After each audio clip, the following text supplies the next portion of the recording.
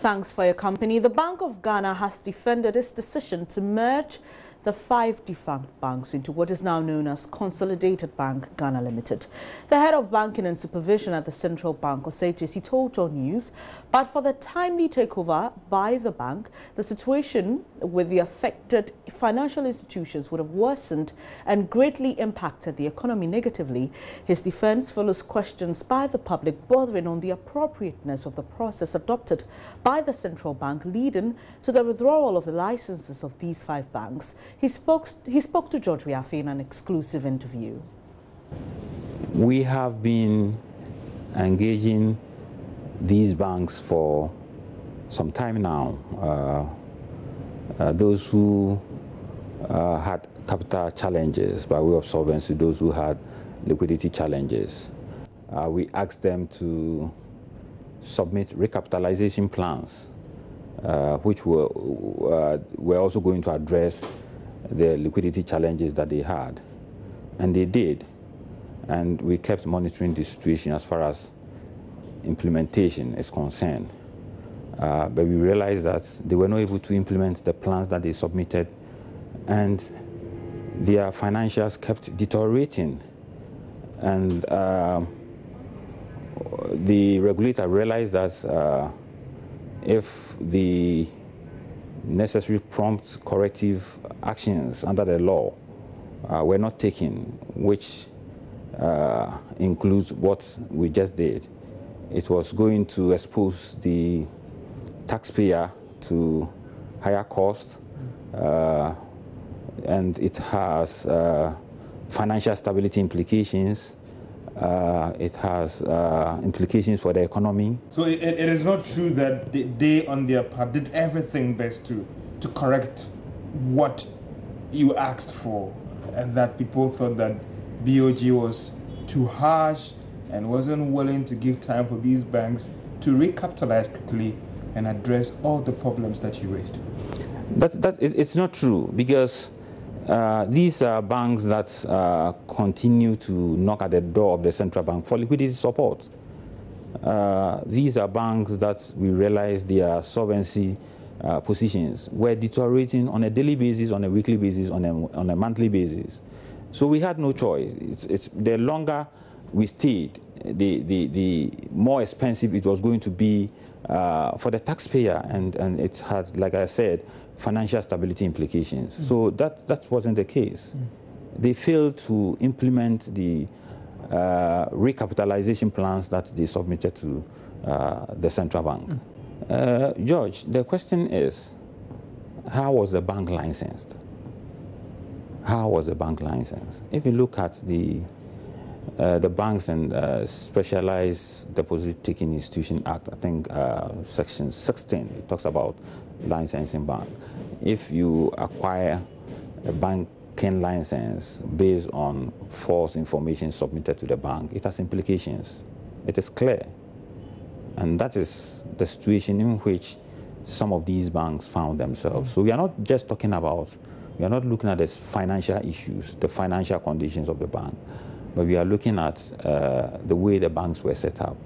That is what we are talking about. Some will say it's, and, and, sorry for the choice of words because these are some of the concerns out there that it's an indictment on your office banking solution, an indictment on the Bank of Ghana if I can trick you to give me a license.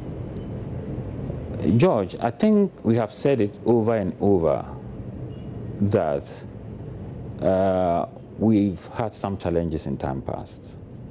There have been uh, forbearance. There have been uh, some lapses in the in the supervisory processes. Uh, but what we keep also saying is that these issues could have been swept under the carpet, but we decided to bring them up. Are you getting it?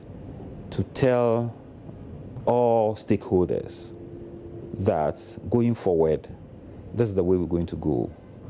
We're not going to compromise on uh, the kind of standards we've set for ourselves, and uh, people will be held responsible for what they do.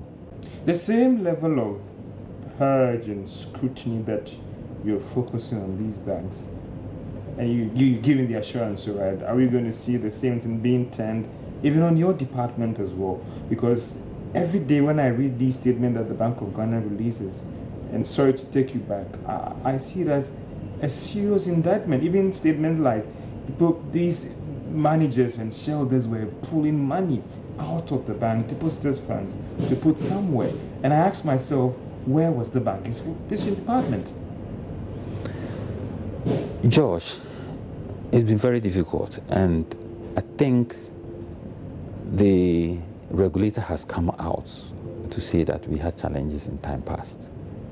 We have admitted it is a human institution. And I'm not saying this to justify or to rationalize what went wrong in time past. But I'm telling you that going forward, we have learned from our lessons. And going forward, we have done self introspection. And the very standards that we are using in assessing people who work in the other banks in terms of fit and proper the same standards are going to be applied as far as those of us working in the banking supervision department is concerned. If you are in banking supervision, you know we have code of conduct, we have code of ethics. The bank has rules and regulations for employees, and you must comply, especially those of us in banking supervision who interface with the banks and other financial institutions. The bank is now open for business, if I'm right, or help me out. Consolidated Bank. It's running. So it started business as we speak, right? It has started business. So what is your expectation as a supervisor of the bank? Yeah, we have always said that we want to feel the presence of indigenous banks in this country. And for me, this step is in the right direction. Um, we're going to see a bank that um, has a very strong asset base, a bank that is well capitalized over and above the uh, minimum capital requirement that will come into force in December, a bank that will have its uh, geographical presence in uh, a lot of places across the country, uh, a bank that uh, will be well resourced mm. to play its role as far as uh, intermediation is concerned. Well, the Bank of Ghana says it will soon publish names of directors of collapsed banks who are banned from taking part uh, in any role or having any role in the financial sector.